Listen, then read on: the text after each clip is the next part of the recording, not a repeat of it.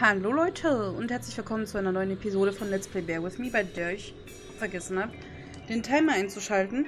Und ich habe mir in der Pause mal Gedanken darüber gemacht, so der Timer ist jetzt an, ähm, warum das Rätsel so war, wie es war. Und ich, ich weiß nicht, ob es die richtige Lösung ist, die ich jetzt hier so mir gedacht habe, aber man hätte das Rätsel, glaube ich, ich weiß es nicht genau, auch nach dem Ausschlussprinzip hätte, hätte man es machen können.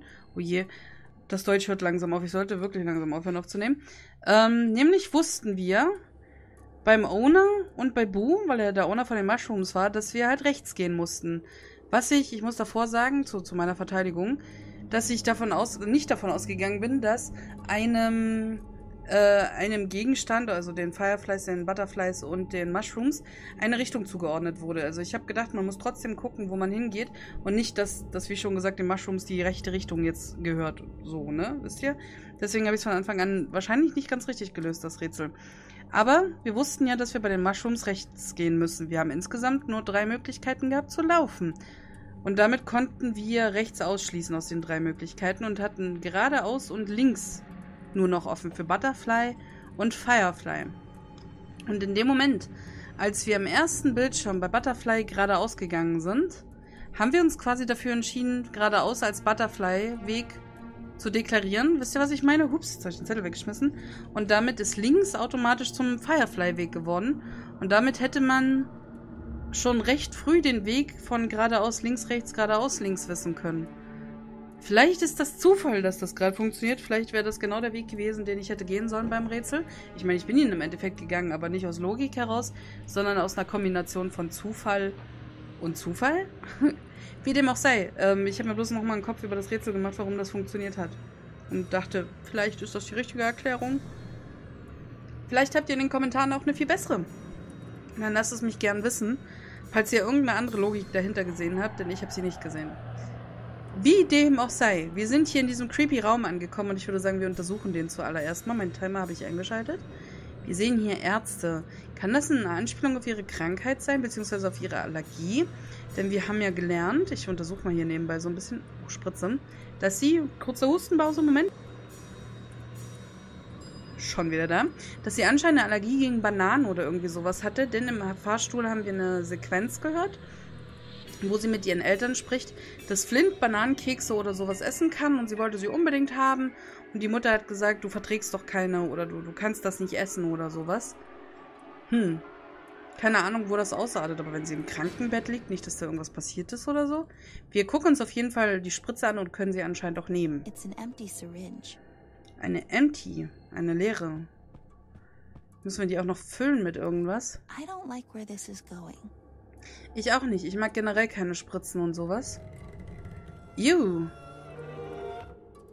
Oh, so eine ganz eklige alte auch noch. Beziehungsweise ich habe keine Ahnung, ob man heute in OPs und so so ein Ding noch benutzt. Aber ich finde, die sieht mega gruselig und alt aus, ne? Was soll man hier? Noch was anderes können wir nicht nehmen. Das ist ein Skalpell oder so, ne? Schere. Wir können auch das Bett nicht angucken. Die Puppe können wir. Das ist auch eine Ember-Puppe.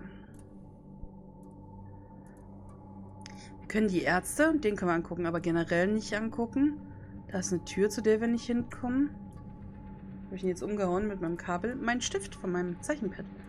Get well soon. Ein Clown. Fläschchen. Epinephrine? Epinephrin? Was ist das?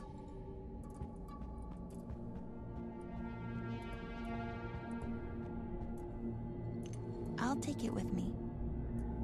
Keine Ahnung. Habe ich noch nie, glaube ich, gehört. Nadel? Wow, ist das bestimmt jetzt hier irgendwie... Bäh. Wir gucken uns erstmal den Arzt an, bevor ich die nehme. Ich habe keine Ahnung, warum die hier sind. Die sehen auf jeden Fall creepy aus. Nadel. Ich finde das auch gruselig. Arztkram und Nadel und sowas. Uh.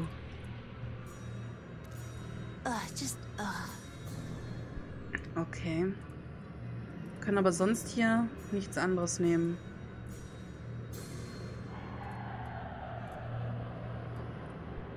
Oh, müssen wir es kombinieren? Oh my god, I can't even look at it. Wow. Ew.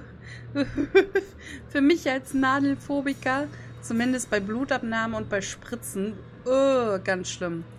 Ganz schlimm. Und für alle, die sagen, du bist aber ganz doll tätowiert, das höre ich ganz oft von Ärzten, wenn ich sage, dass ich Schiss habe vor den Spritzen und so. Sie sind immer hier am ganzen Körper tätowiert, aber Angst haben vor einer Spritze. Bock, bock, bock, bock, bock. Das ist was anderes, liebe Menschen. Das ist was komplett anderes. Okay, wie? Ach, müssen wir hier mit dem Messer? It worked. The cap is off. Okay. Okay, it's done. I just want to get rid of it. Was ist Epinephrine? Wow, muss man es irgendwie auslösen? Aber wie? Why are they here? Ich kann das nicht angucken. Aber muss ich es verwenden auf die Ember-Puppe? So? I should give it to someone certified. Dann geben wir es dem Arzt, oder? Obwohl der nicht so aussieht, als hätte er ein Diplom. Oder er hat es vor 30 Jahren gemacht, als er noch lebendig war. Ah. Here you go, Mr. Doctor, sir.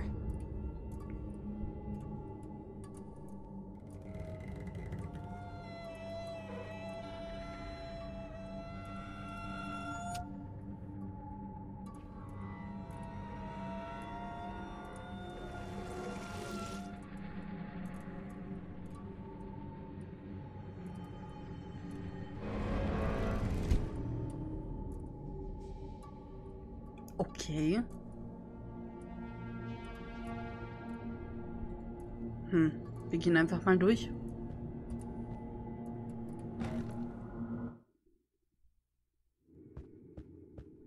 Spiegel? Oh, look who decided to show up. What are you talking about? Show up where? What is this place? You don't recognize this? It kind of looks like that ballet studio mom used to take me to. But you hated it, didn't you? It's not like you would be good at it. You have fat feet. Hey, who do you think you are? I'm the real you, by the way. This cute, polite mask you're hiding under? That's not you. You don't know anything about me. Are you kidding? I am you. You're really losing it, aren't you? Talk to yourself much? Shut up. You're not me. You're rude and ugly, and you have fat feet. You spoiled brat. You're a burden to everyone around you. Everyone's always taking care of you so you don't have to think about the consequences. Why are you doing this? I want you to drop that mask you're hiding under. I don't know what, it was all your fault. You and your stupid allergies. Shut up. I see what you're doing. They should lock you up in a glass bell. Shut up. And Ted died because of you. I. Oh, you think I don't know? It was you acting like a little spoiled brat that got him killed. He said it wasn't my fault. Of course he did. He was looking after you like everyone else. Don't you dare talk to me about Ted. He was my best friend. And you got him killed. Stop talking about him. I hate you. I hate you. I hate you. I hate you. Stop repeating after me. Stop repeating after me. I said stop.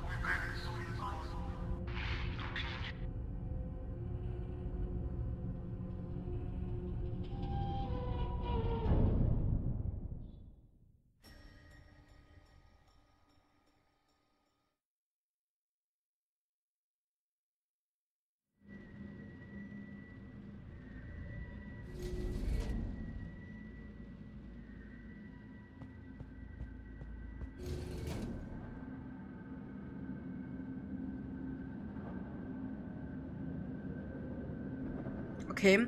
Also war das wirklich mit der Allergie und einem harten Schock, der damit zu tun hat. Ich kann hier nichts nehmen. Auch an der Wand nicht. Mein anderes Ich. Ähm, Kam es mir übrigens nur so vor? Oder hat das andere Ich tatsächlich auch eine kindlichere Stimme gehabt? Also so nie, nie, nie, nie, nie geredet, anstatt so erwachsen wie sie. Mechanismus? Schauen Sie uns erstmal nur an. Upside down me? Sie hat ja auch die Kappe um oder diesen Umhang des, des Roten. It's some kind of apparatus. Anscheinend. Wir gehen mal weiter und gucken, was hier drüben noch so ist. Okay. Spielzeug Brian. Brian, he was so nice to me. Wir können auch mit denen She's interagieren. such a badass. He might not be all there, but he is all heart. He watched over me. They risked a lot for me. Poor sweet Millie. Wir, wir interagieren gleich mit einem. Ich möchte bloß gucken, ob es hier noch irgendwie weitergeht. Aber das war's. Wie können wir It's locked. abgesperrt? Wir haben ja. Wir können bestimmt hier auch nicht irgendwie. Okay. Oder hier mit dem? Okay. Sind alle mit Sicherheit locked, ne? it's locked. Ja. Sind ja auch über so Schlösser dran, deswegen würde ich das gar nicht weiter probieren. Ähm, reden wir mal mit ihr. Why are you wearing that? Is that you, Red? Fine, be like that. There's just all sorts of you, isn't there? You mean all sorts of you? I'm not buying that. I'm nothing like you at all. What do you want? What do I have to do? I have something for you. Is that.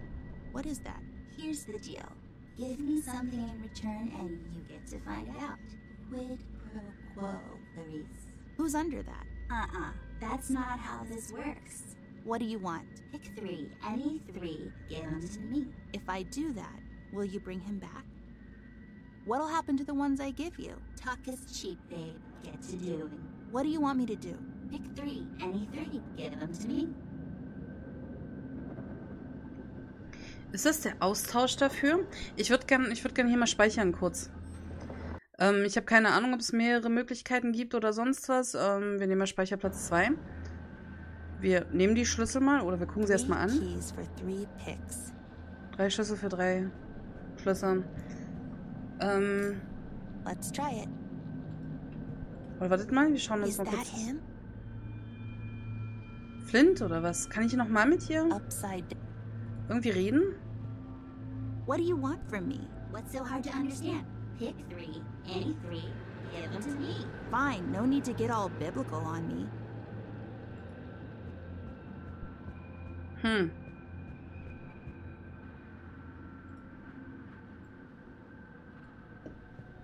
Äh, ich muss zugeben, Betty lag mir am wenigsten am Herzen. Deswegen würde ich sie She's nehmen. such a badass. Ja, sie mag total krass sein, aber mm, me. bei den anderen fällt es mir jetzt ein bisschen schwerer. Ich würde die Mugshots noch nehmen.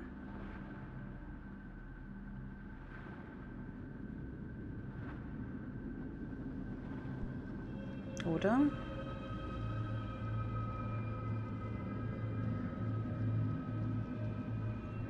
Rusty war ein guter Aufpasser auch, ne? Wir nehmen Rusty trotzdem. He watched over me. Ja. I'm really not okay with this. Generell bin ich da nicht so einverstanden. Wir nehmen die Mugshots. Is this the last one?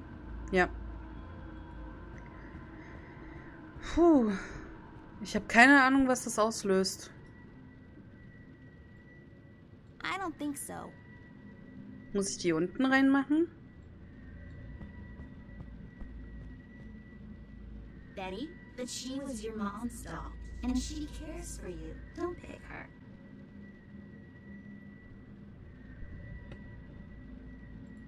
Sie hat mit Sicherheit bei allen was zu sagen. Rusty, Rusty, brave, selfless, working class robot. Have you got no heart?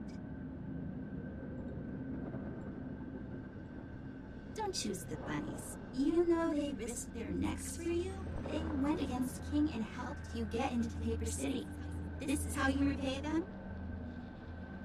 I'm so sorry, guys. Please forgive me. Give them to me. There, you freak. Pledge them to me and ask in return. You can have all of them. Just bring him back.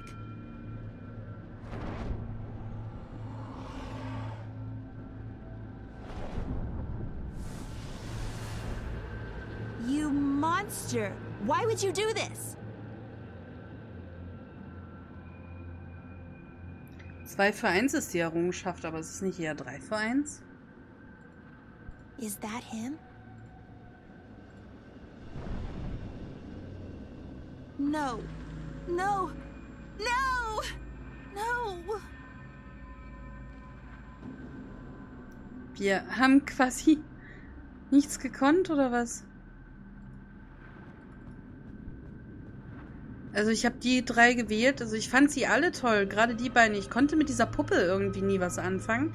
Mit der Lady-Puppe. Aber ich fand generell alle anderen toll.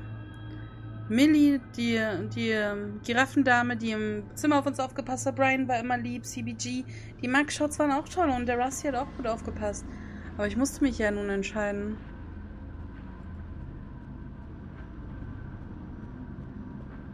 Das Handelsding kann ich nicht mehr benutzen. Hier ist der Lift wieder offen. Okay, dann gehen wir da mal rein.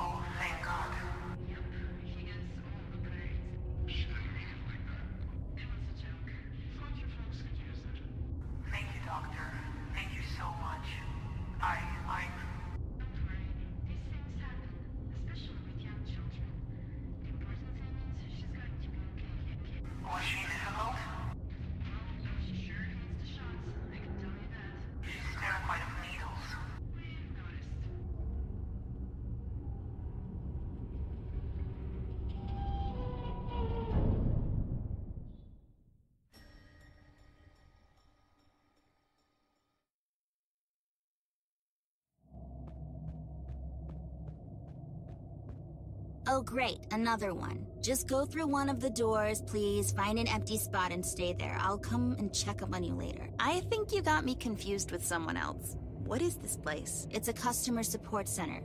Wait, you're not here for the job? Where did you come from? Like, outside? Oh, look at you, Miss Outside. I don't appreciate your attitude, to be honest. I'm leaving. Good luck with that. There's no leaving this place. What do I need to do? Aren't you the famous world traveler, Miss Outside? What do I know? I'm just a service provider. Okay, I get it. Help me. I need. Ugh. Customer service. Have you tried turning it on again? Turn what on? Your brain. Are you making fun of me? I'll report you. All reports are to be submitted in writing and deposited in an official complaint box. The review could take up to 10 working days. Please be patient and don't hesitate to ask for help in the meantime. And remember, we're only happy if you're happy. Whatever, what do I need to do? You have to find out something. What? There was this old man. He used to live alone in our building on Whitewater. Remember back in the city? Remember? I guess. I can't remember his name though. Hieß er nicht Mr. White? Peter Stevens, ich weiß es nicht.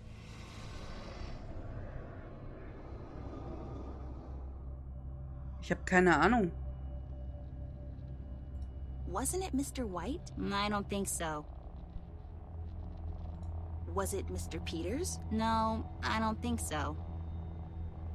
Wasn't it Mr. Stevens? No, I don't think so. I don't know. I can't remember either. Anyways, find out what happened to him. How? Ask around. I can't hold your hand. Fine. After I find out, I'm out of here. Sure. Was ist hier los? ich raff's nicht ganz. Zimmer, Zimmer, alles nur Zimmer, bei denen wir dann wahrscheinlich, wie, wie sie schon sagt, rumfragen müssen. Was ist hier? Demotivierendes Poster. Was? Just give up, Kitty. Oh nein, nicht hang in there, sondern just give up. Oh nein. Vor allem, warum ist das jetzt ein, ein, ähm, eine Psychiatrie oder was auch immer? Liebe Leute, ich würde an der Stelle wieder gerne eine Aufnahmepause machen. Und wir sehen uns in der nächsten Folge wieder, wenn es heißt Let's Play Bear With Me. Und ich glaube, ich mache auch für heute erstmal Schluss. Denn ich habe keine Ahnung. Ich habe eigentlich gedacht, schon vor drei Folgen, dass das Spiel gleich zu Ende ist und wir uns einem dramatischen Ende entgegensehen. Aber jetzt wird es halt mega creepy und so ein bisschen ähm, Francis Bow-mäßig, habe ich schon fast das Gefühl. Wir schauen uns in der nächsten Folge an, wie es weitergeht mit Let's Play Bear With Me. Vielen Dank fürs Zuschauen und bis dann.